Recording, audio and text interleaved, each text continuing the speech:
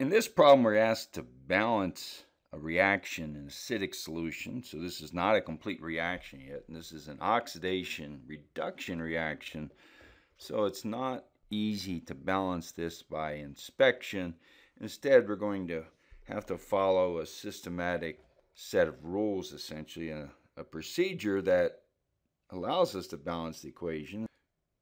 First step is to write down half reactions. So I'm going to write two half reactions that show change in oxidation state essentially.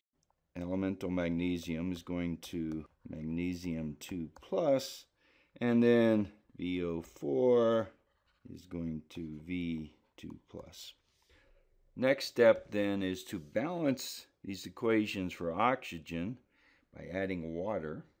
You can see for the second reaction we're going to need to add water four oxygen on the left, so we have to add four waters. Third step is to balance hydrogen, and we're going to do this by adding H plus, in this case to the second reaction, so we need eight hydrogen ions to now balance the second reaction. So our fourth step is to balance charge. And we're going to use electrons to balance charge. So this equation, the right side we have plus 2, left side no charge, so we need 2 electrons.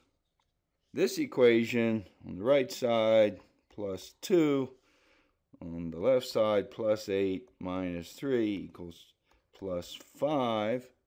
So we're going to have to add 3 electrons to this side and that be minus 3, so we end up with plus 2 on both sides.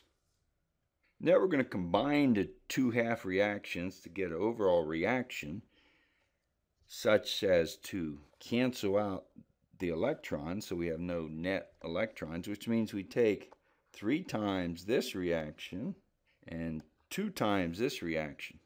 So all I've done is add the left sides and the right sides multiplying and I noticed that I forgot to multiply so let's be careful here. The right side I have 2 V2 plus and I have 8 H2O since I have to multiply everything by 2 okay now we can cancel out the electrons from both sides. And I can now write down the final balanced equation so this then is the balanced equation. It's always good to check. We have three Mgs on both sides, two vanadiums, eight oxygens, eight oxygens, 16 hydrogens, 16 hydrogen.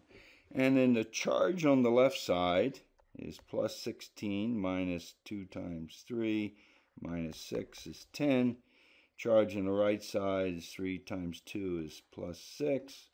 2 plus 2 plus 4. So charge balance, so everything balances and we're finished this balanced equation.